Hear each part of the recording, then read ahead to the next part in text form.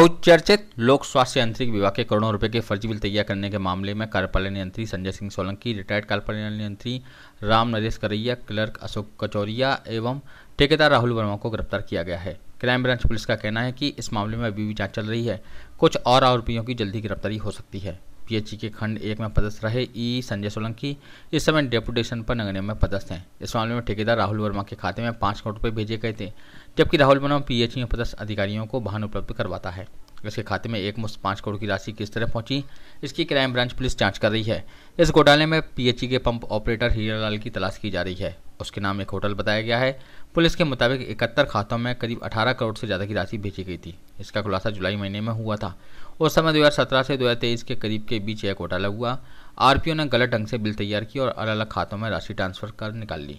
Crime branch police ने इस मामले में गबन और धोखाधड़ी का मुकदमा दर्ज किया है।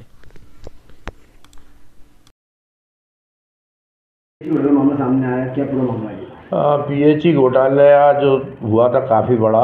उसमें क्राइम ब्रांच द्वारा विवेचना की जा रही है। और क्राइम ब्रांच ने कल बहुत बड़ी कार्रवाई करी। चार लोगों को पूछताछ कर, गिरफ़्तार किया गया। चार आरोपियों में से दो तो एक रिटायर्ड अधिकारी हैं, एक डीडीओ हैं, एक लिपिक है। और एक प्रेजेंट में जो डीडीओ है पूछताछ करने पर जो साम, तथ्य सामने आया उसमें ये सभी लोग घोटाला करके उक्त राशि को एक नंबर में करने के लिए ठेकेदार के माध्यम से करते थे तो ठेकेदार का भी अकाउंट चेक करा उसमें उनके द्वारा ट्रांजेक्शन करीब चार पाँच करोड़ रुपए का होना पाया गया।